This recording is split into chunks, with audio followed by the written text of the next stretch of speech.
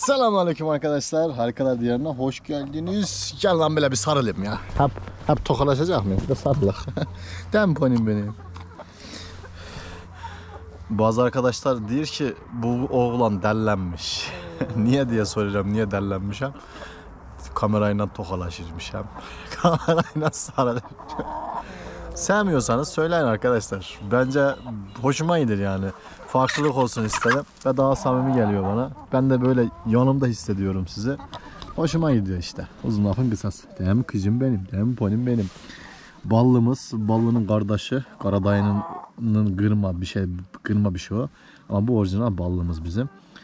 Ballıya kar yağdığıyla yazın eşleyebiliriz. Kafese koy demişsiniz. O kafese koyulur mu lan? Ah bizim yok. Şöyle her gün ot veriyoruz dışarıda hayvanlara. Böyle olunca hayvanlar strese girmiyor abi. Geziyorlar, dolaşıyorlar, böyle oynuyorlar otla akşama kadar. Ha, Üstüne oturmuş misal. Çünkü tavuk da çok meraklı hayvanlardır. Aynı zamanda çok aşırı derecede arkadaş canlısı hayvanlardır. O yüzden kendi aralarında sohbet muhabbet ederken dedikodu bile ederler. Tavuklar yani. Lan toz etmeyin, toz etmeyin. Sakin ol. Ulan beni buldunuz yani. Ha. İki saattir ben burada oturuyorum, beni buldular. Herif. İşte ele var ya. Bizim kar yağdı zannıyla herif de olur. Ay maşallah. Bizim güvercinler keklikle arkadaş oldu. Keklik ve güvercinlerimiz birlikte takılıyorlar arkadaşlar. Keyifleri de yerinde. Sürünün genelinde bir problem yok. Son zamanlarda bir yem değişimine gittik. Rasyon değiştirdim. Çok memnunum açıkçası. Bundan da sizlere tabi bahsedeceğim ilerleyen zamanlarda ama halen daha bir görüşmelerim falan var. Ya bana sorsanız daha önceki videomda demiştim zaten de çok soran oluyor abi hangi yemi yediriyorsun hayvanlar çok seviyor falan. Arkadaşlar tavuklarımızın sevdiği yem rasyonu aslında hayvanlarımızın en sevdiği tiptir. Ya karma bir yem yediriyorum açıkçası. İçinde pirincinden tutun bir sürü ma- malzeme var. Daha sonra dediğim gibi açıklarım gösteririm yakinen. Önce bir firmadan izin almam gerek bazı konularda sonuçta göstereceğim için bazen şey yapmam gerekiyor tanıtım yapacaksam eğer. Diğer yandan da siz yakınsanız eğer ben şimdi Erzurum'da olduğum için biraz zorlanıyorum. Çok fazla yeme ihtiyacım var aslında. Ton iş almam gerekiyor hayvanımız çok olduğu için. Hades. ton iş alacağımız zaman da maalesef maliyet çok fazla yani. Oradan buraya gelmesi, teslimat süresi bayağı bir para gerekli. Sadece nakliye bile 4-5 milyar tutabiliyor. O yüzden yakından çözmemiz gerekecek veya da farklı işte bir şeyler yapıyorum. Bahsedeceğim. Hayvanlar bu ara çok mutlular, çok huzurlular. Çünkü yem rasyonu bayağı işe yaradı. Hayvanlarımızın biraz yumurta verimini düşürse de zamanla artıracak.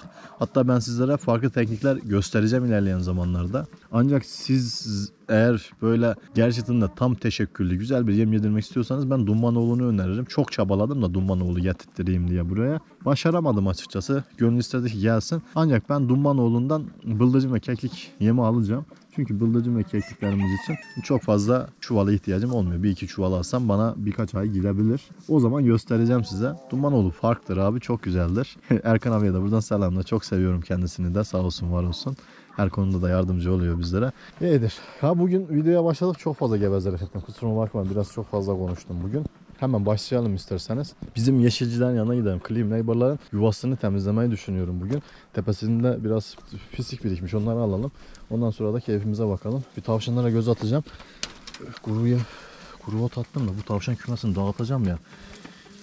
Bir şey yapayım bekliyorum. Şimdi çok fazla yavru var. Yavruların hepsini bir bitirmek lazım. Var mı fikri olan? Hatta düşünen varsa biraz zorlayayım. Ha uyanık güzel. Ne diyorsun bu konu hakkında? Şimdi gelin kümesimize doğru gidelim de önce ben bunu bütün follukları bundan temizlerim zaten. Sürekli dolduruyoruz bunu abi. Bunu doldukça şura bizim gübreliğimiz. Bu gübreliğe döküyorum. Bunu da sonra bahçelere aktarıyoruz. He, kapat. Tamam. Arkadaşlar şey diyen olmuş. Aha şey halim. Nedir adı? Murat. Bir yorum düşmüştü onda. ha. Abi senin yerinde olsam işte dışarıya bir semaver, çay, masa falan çok mantıklı cümleler kuruyorsunuz arkadaşlar. İlerleyen zamanlarda. Unutmadan bizim cüce koşunları dışarı çıkartmayı unuttum. Dur onları da bir çıkartayım. Kahvaltı, kahvaltı videoları çekmiştim hatırlarsanız bilmiyorum ama evde birlikte çok kahvaltı yaptık biz sizinle arkadaşlar. Hatırlamıyorsunuz herhalde. Yazın. Şimdi kışın çok fazla yapamıyorum. Kış e, vaktimiz olmuyor. Sabah da öyle güzel bir kahvaltı evin içindeyiz. Hep aynı şeyler o yüzden çekmek istemedim de yaza doğru dışarıda oturduğumuz zaman çekeceğim tabii ki. Göstereceğim vlog tarzında. Bir şeyler bir şeyler işte. Mesela nasip olursa yarın bir yem almaya gideceğim.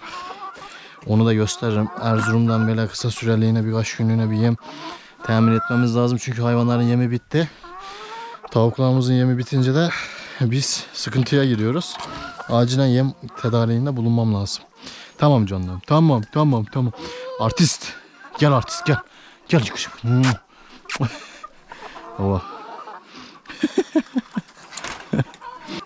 bunun adını Rambo koydum abi. Rambo bunun adı. Tamam unutmayın arkadaşlar. Onun yeni ismi Rambo. Lan Rambo. Dur hele. Dur şuraya bir. Geçen de girdim legbarların yerine. Şeyin tepesi biraz pisti. Burayı temizlemek istiyorum. Ulan sizi var ya sizi. Sizi var ya sizi. Dur bakayım.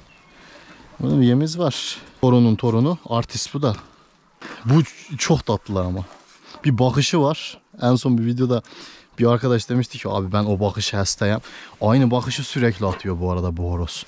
Bu hayvan boş değil abi. Bu biraz çok zeki. Akıl, üst akıl bu. Kümesin üst akılı bu. Buna yeni isim bulduk.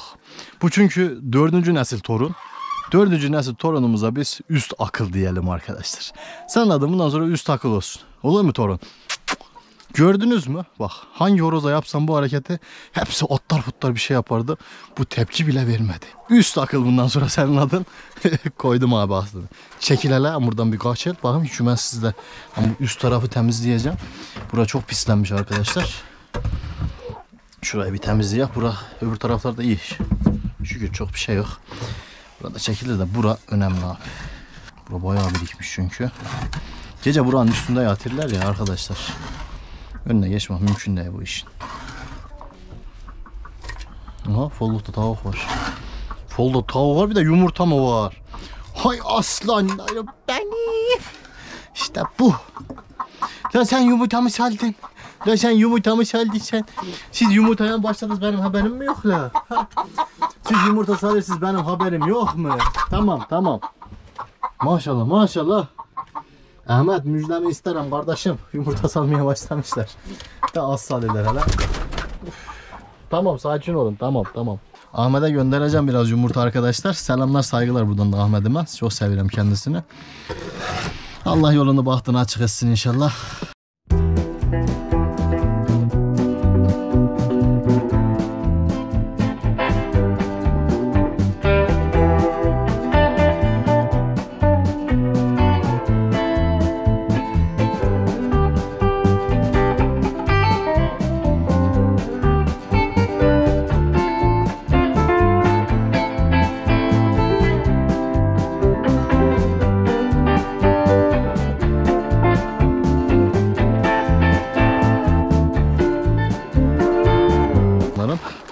Salmaya başladı mılar sonu gelmez.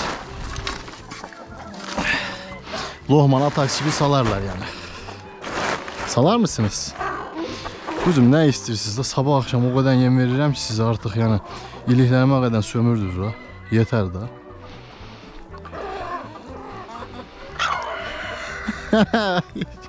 ya hayvanlara bakıyorum içim böyle var ya huzur doluyor kardeş.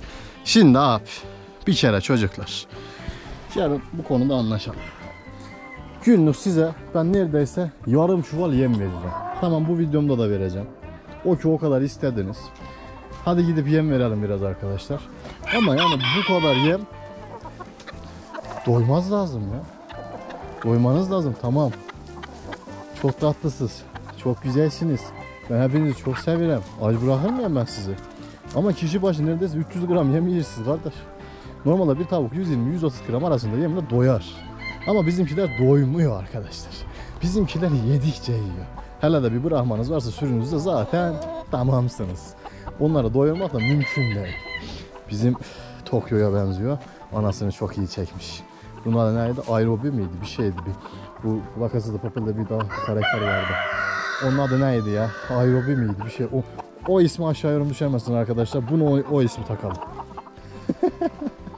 Koşa mı? Çekil oradan. Bak bak bak bak bak bak bak bak bak. Kapat. Burayı yem ünitesi yapacağım. Alabilirsek bir, bir ton, iki ton yem buraya çok rahat sığıyor arkadaşlar. Bu kafesi yem kafesi yapıyoruz. O var. Çünkü yemi normalde üst kata, bizim evin oraya indiriyorduk. Oradan aşağı taşımak çok zor oluyor. Kümesin içinde bir yere dizmeliyiz. Burayı bir böyle planladık. Baktık ki bütün yemler buraya sığıyor. 2 tona kadar. Bize de 2 ton birkaç ay gidiyor zaten. O yüzden burayı yem ünitesi yapacağız. Kullanacağız. Fare de girmedi buraya. Girmemesi için de elimizden geleni yapıyoruz. İnşallah girmez. Burası güzel yem ünitesi olacak. Ön tarafı boş kalır muhtemelen burası. Burayı nasıl kullanırız onu düşünüyorum bazen. Çünkü eğer burası yem ünitesi olursa şu kapı bazen bize sıkıntı çıkartabilir. Belki toru kaldırır mı bilmiyorum ama buraya küçük bir ırk alabiliriz yem ünitesinin hemen yanına. Yani düşünülebilir çünkü çok fazla kafesimiz var şu an boşta. Değil mi çocuklar? Brahmalarım çok güzel yakıştı. Hele şu bulular var ya aklımı oynadı. çok tatlısınız. Şimdi yem vereceğim de kabı dışarıdan mı unuttuk? Kabımız yok. Kabı almamışım. İşte hiç şey olmadı bu. Hayvanlar doymuyor neyse bugün. Şöyle azıcık sepemem bile. Biraz uzaklaşsınlar buradan. Şuna gidelim kabalım da gelin. Dur orada bak.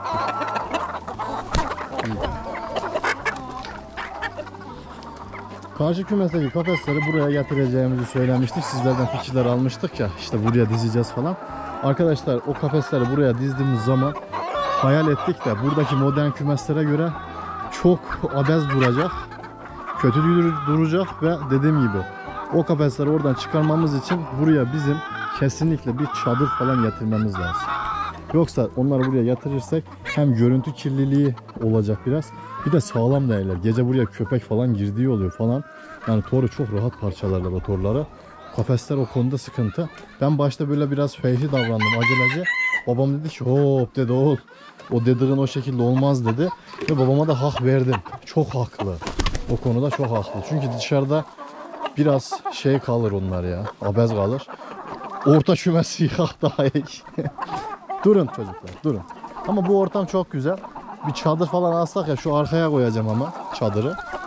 Böyle vereceğim bu taraf önünü. Cins kafeslerimiz burada çok güzel zaten.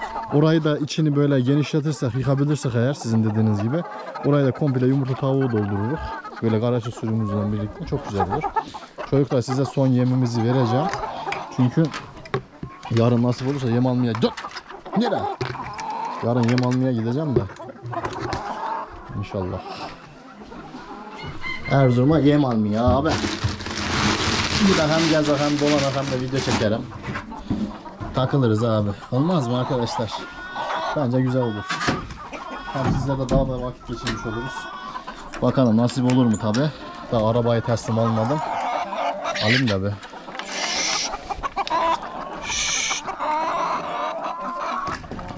Bak bak bak. Bak. Her gün şu işlemi yaptık. Bütün sürü birbiriyle kaynaştı. Halen daha rütbeleşme oluyor. Onun farkındayım. Bazen bakıyorum da hayvanlar halen daha tam rütbeleşemedi. Ama yavaş yavaş bak. Halen daha birbirleriyle sürtüşen hayvanlar var etrafta. Olsun. Olacak. Olacak. Topraktan tavuğun yem yemez hayvanları hasta eder mi? Biraz da ondan bahsedeyim. Arkadaşlar ihtimali var. Palet yemse bizim şimdi yemler şu an palet değil gördüğünüz gibi. Bunlar çok fazla toprağa tutmaz ama toprağa tutan bir yem atıyorsanız hayvanlar hasta edebilir. Kümesin içinde bu işlemi kesin yapmayın. Kümesin dışında yine özür götürür. Şu ortam o kadar pis ve mikroplu değildir. Güneş gördüğü için. Ama kümes içerisinde yaptığınız zaman bazen yapıyorum videolarda da iyi yapmıyorum. O hasta eder hayvanlara dikkat edin. Benden size demez. Baba baba. Hadi yani bunu da yiyeyim daha da yeter. Tamam. Tamam yeter. Yeter sabah akşam yemin ediyor Biraz fazla oldu. Tamam. Hadi gidip yumurtalar toplayalım. Şu güvercinlerin kümesi iyi oldu. Bir bölük de aşağıda durur. Kafası yok. Şu aşağıda bir bölük var. Bayağı benimsediler içeriye. Şu ortadan aşağı iniyorlar. Buradan bir daha yukarı çıkarlar. Ama iyi. Şimdi abi gidip yumurtalar toplayalım isterseniz. Evet.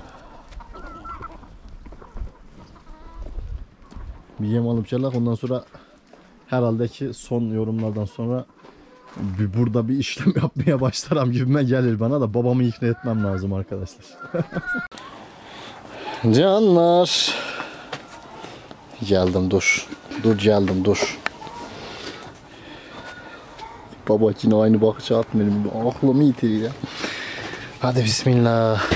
Arkadaşlar hobi folluk var. Buraya yumurta salan yok. Hep buraya salmışlar. Çok mutlu oldum. Şu an içinde zaten kaç tane var görüyorsunuz. Bunlar maviciler orijinal bu arada. Orijinal hayvanlarımız. Maşallah. İnşallah biraz birikim yapalım. Hayvanların ilk yumurtaları genelde çok doluluk oranı yüksek olmaz. Onu da söyleyeyim. Doluluk oranına dikkat etmek lazım. Yüksek verim alamazsınız. İlk yumurtalar genelde iyidir veya da hayvanlara geri yedirilir bizde.